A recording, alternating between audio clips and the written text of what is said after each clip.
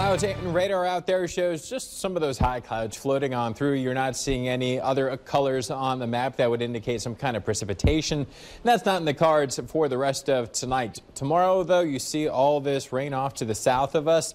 Yeah, it's heading our direction as this moisture continues to lift off to the north. The snow remains well to the north of us, thanks in part to a strong area of high pressure that is currently getting attacked together across the Bahamas, and that will just help push all of this moisture over the top of us as we head into this upcoming weekend. And it's why we're forecasting good half inch to an inch and a half of rain. The bullseye for the heavier rain has shifted closer to the Appalachian Mountains where the orographic lift could help wring out a little bit more moisture for them. But here locally, still half an inch to an inch and a half of rain over a couple of days. That is just what the doctor ordered because we are, uh, again, still under drought conditions here in the Commonwealth.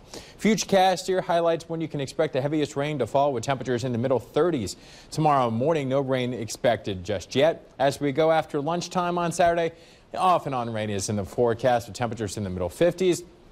Saturday night, Sunday morning, and we're looking at some locally heavy rain falling. So if you're having plans late tomorrow evening, make sure to have a sturdy umbrella along with you. And then as we wake up Sunday morning, we're looking at temperatures near 50 and then mid to upper 60s are in the forecast for your Sunday afternoon, thanks in part to maybe a peak or two of sunshine. So over the weekend, rain and warmer conditions uh, await us.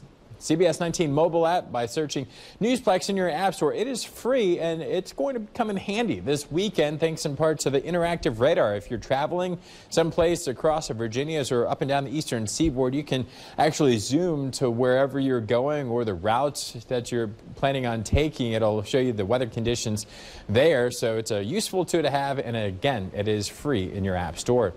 Your Manchester Auto Group 7-day forecast here has 54 degrees for your Saturday. A pair of sixes in the forecast on Sunday, and depending on how things break on Sunday, one or two locations could flirt with that 70 degree mark. 53 degrees then for your Monday, and then drizzly showers are in the forecast for now for your Tuesday with temperatures near 33 degrees. We'll keep a very close eye on the threat for any wintry mischief early in the day on Tuesday, but as we head into Valentine's Day, more sunshine, drier, and near 60. Yeah. Nice. I like the 60s. Me too. All right, thanks. Well, Health Watch for you now.